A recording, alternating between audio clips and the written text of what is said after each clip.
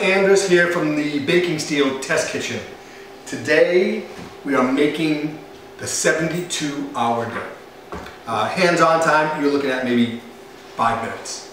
But we're gonna let the time take us into the refrigerator for three or four days and we have our dough. So what I like to do is on uh, Monday morning, I'll make my dough for Friday evening. So we need to prepare a little bit. But the dough is so simple to make few things you're going to need. One, you're going to need a scale, a digital scale so we can measure our ingredients. Um, and then we're going to need a couple of bowls. That's it. Simple, guys. This is um, taken off the Jim Lahey No Knead. It's a spin off that. Um, we're going to give it a little, a little kneading and a little bit more time.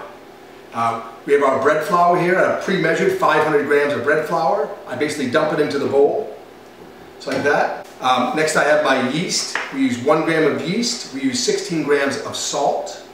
I'm going to take these and dump them into my bowl. So I take my whisk and literally just whisk this together. And next I've measured out um, one and a half cups of water. I'm going to pour my water into the bowl, just like so. Now I'm just going to blend this stuff and mix this stuff together. Just like this. And once I get a little little whisk there. I'm going to dump this onto my uh, onto my table. I'm going to give this a little bit of a knead. I'm going to knead this by hand. All the ingredients are incorporated together. Just a little kneading, incorporating everything. And this also gets all the, the clumps out or any lumps that we might have in the dough. So I'll put this in my clean bowl here. I'll cover that with like maybe a little plastic wrap, if you will, and then um, let it sit at room temp. We'll come back tomorrow and we'll finish this up. All right, we're back. It's been a it's been a long night waiting for this dough. It's been you know 24 hours. They call this a bulk ferment. So I've let this sit um, out, and it's it's about doubled in volume. Next, my next step is we're to take this out and we're to divide it up into equal portions we're going to throw it into the refrigerator for another 48 hours. So you get your 48 and your 24, that's your 72 hour dough. You can see I'm going to take my dough and just plop it out on the countertop. And I want to lightly flour my surface here, so always have some, always have some flour ready. Just lightly flour my dough. It's a little sticky, it's a very wet dough.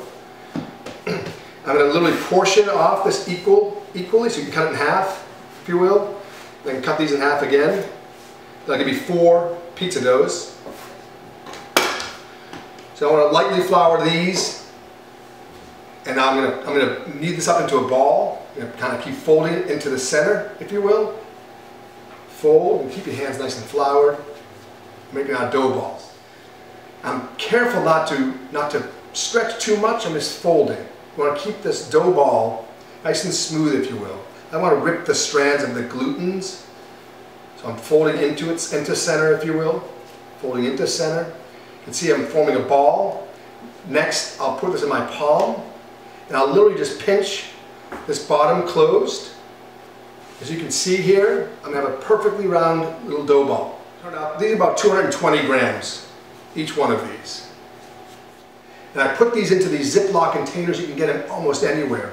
A little bit of oil, stick it in, I cover it, I'm going to throw this into the refrigerator, and I might even date these because I make a lot of doughs. I always want to keep a fresh date on these. Um, and then I'll know on Friday night this dough's going to be you know, primed.